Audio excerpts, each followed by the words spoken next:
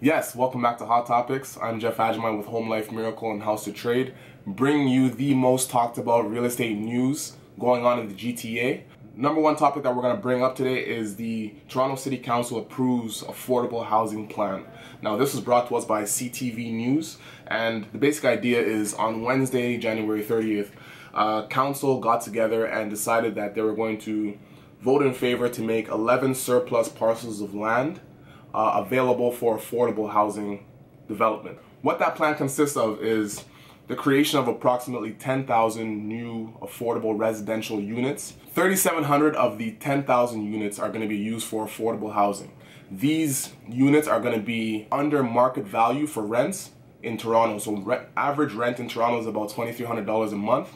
Uh, if you're looking at 40 to 80% of that market value, you're looking at about 920 to 1840 in rents per month. Much more affordable than the 2300 and I think a lot of people are going to like that. The city's going to retain the land and what they plan to do is lease the land to developers for a 99 year lease term and with that the developers are going to have a lot of uh, different development fees and property taxes waived as a result over the terms of the lease. So about $176 million in development fees are going to be waived over that term with also $104 million in property taxes waived for developers that are building these new affordable housing units. There are a few city councilors that are actually trying to push for a little more red tape and a little more regulation with regards to some of these housing initiatives. And you've got guys like M Mike Layton. Mike Layton is the uh, He's the city councilor for Ward 11, that's University in Rosedale, and he wants about 50% of the units, of the 10,000 units,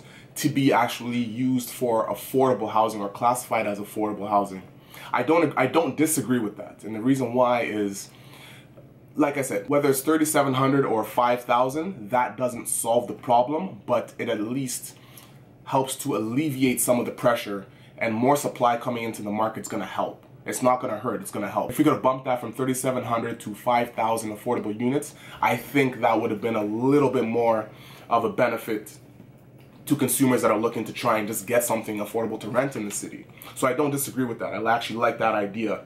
Where I do disagree is where he says about one in five should be capped. If we're telling developers that we're going to cap what you can make on this unit at 40% of what market value is, that is so low, it does not offer incentive for a real estate developer who's they're not building property just for the good of society. They're building because they see a need and they also see profit in the end.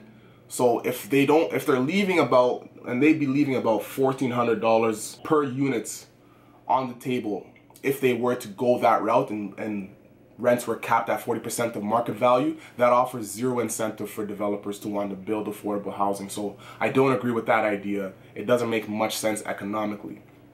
Um, and then you also have people like Kristyn Wong Tam. She's a city councilor for Ward 13, that's the Toronto Center, and they want, and she wants to create an arm's length city agency to ensure that more units are actually kept affordable. Again, I don't know how that helps to create another bureaucratic agency that's going to slow down the process. If the idea is to try and build more affordable housing and get more affordable housing out to consumers, it doesn't make much sense to create another bureaucratic bureaucratic agency that's going to slow down the process. The whole purpose of what I think John Tory and City Council is trying to do is to speed up development for affordable housing. That makes no sense. I don't agree with it at all. But I do agree with the, the affordable housing plan. I like it. It's a very good start. Hopefully we can actually start digging ground as of next year and just start getting rid of all as much red tape as possible so we can get more affordable housing in the city because like I said 5,000 is not going to solve the problem but it helps alleviate pressure in the rental market. Uh, and the second topic of the day also touches on affordable housing but this is more so around buying property in the city. A new study shows the most and least expensive areas to buy a home near transit. So Zoocasa, who's an online real estate company, they developed a study that used the Toronto Real Estate Board's 2018 sales data to pinpoint where the least and most expensive homes were within a 10 minute radius or 10 minute walk of let's say a a subway station or the LRT station. And what they found in the study was along line one, you have more of the most expensive uh, properties, specifically houses. The most expensive houses along line one were around the York Mill Station. And these homes are going for about $3 million plus houses. $3 million. Good for them. Uh, Summerhill was the highest when it came to condos, and condos in those areas were about $1.2 million. Along line one, you have some really expensive properties. That's actually good for property owners that own in that area. Good for you. You're making money. Uh, but for people looking to buy in those areas, you're not going to find affordable housing there. It's a different different income bracket.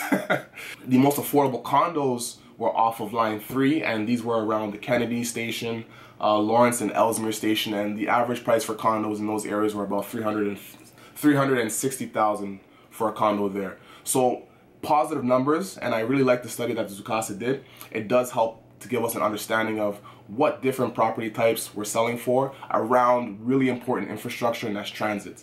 Transit is huge for anyone that's looking to try and work in the city or just try and get around the city. Because if you can pick up something that's near one of these LRT stations or a subway station, you could be seeing pretty decent appreciation in the value of the property. Because, like I said, the infrastructure is needed, it's valuable, and it helps add value to your property.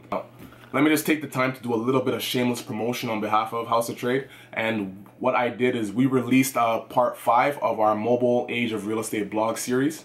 And that's where we're touching on different technological trends that are happening in real estate, not just in the GTA, just happening in general in North America. So go check that out on the House of Trade website. That's houseoftrade.ca. Uh, the mobile age of real estate blog series. We have 10 parts. We released the first five already. Go check that out. You're really going to like it. Don't forget to like, share, subscribe, comment down below. Please let us know anything that you'd like us to talk about. We're really interested in doing that. Come back and join us next week. We're going to see you. Peace.